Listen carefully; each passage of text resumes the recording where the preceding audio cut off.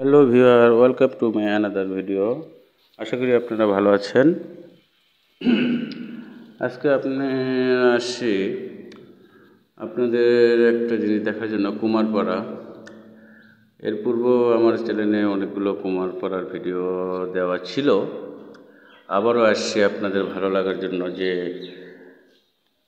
আগেকার যুগের মানুষ মানে কী দিয়ে সাধারণত জীবনযাপন করতো? মাটির পাত্র, মাটির বাসন, কাসন দিয়েই সব কিছু করতো। তো সেই জায়গায় আসছি।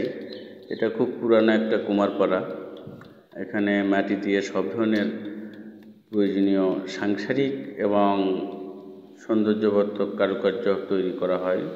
সাধারণত এই কুমারপাড়ায় অল্প কয়েকটা মানুষ কাজ করে। এদের একটা গোষ্ঠী আছে। সাধারণত আমরা কুমার বলেই জানি। তো আপনারা দেখতেছেন যে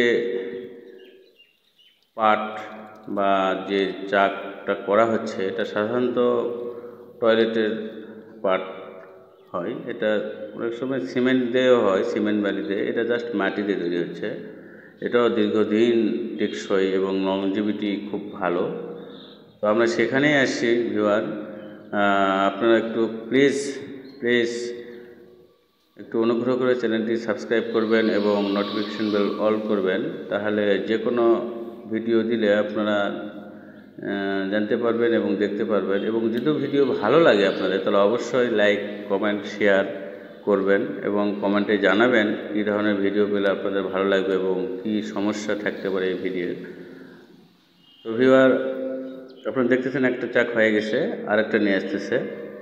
পার্শ্বে মাটি তৈরি হচ্ছে সুন্দর করে।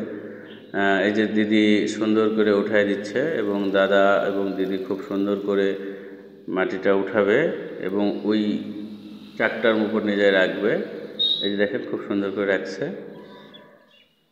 প্রথমে হাত দিয়ে একটা ফিনিশ করে নেবে। জাস্ট ওই পাটাতনের সাথে বা ওই চাকটার সাথে হাত দিয়ে একটু জাস্ট এঁটে দিবে।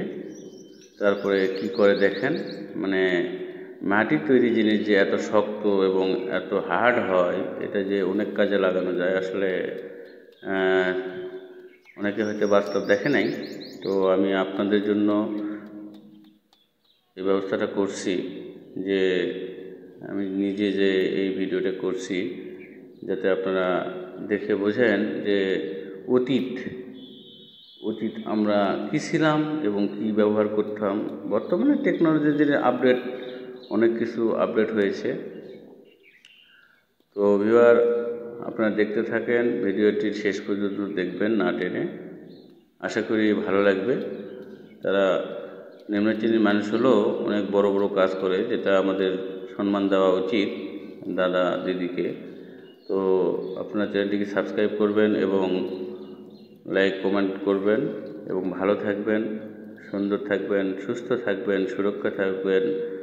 এই প্রত্যাশা ব্যতি রেখে আমি শেষ করলাম এবং আপনারা প্লিজ ভিডিও দেখবেন এবং শেয়ার লাইক কমেন্ট করবেন যে বাংলাদেশে কত সুন্দর মাটির কাজ হয় এবং মাটি দিয়ে কি সুন্দর সুন্দর জিনিস তৈরি হয়। তো ভিউয়ার আমার অল অ্যারাউন্ড মাই চ্যানেল সব ধরনের ভিডিও আমি দিয়ে থাকি। এভরিথিং ন্যাচারাল ভিডিও কন্টেন্ট হয়তো বা খুব ভালো না, তবে চেষ্টা করতেছি আস্তে আস্তে ভালো করার জন্য যদি আপনার পাশে থাকেন। আশা করি থাকবেন। তো thank you thanks for watching my channel and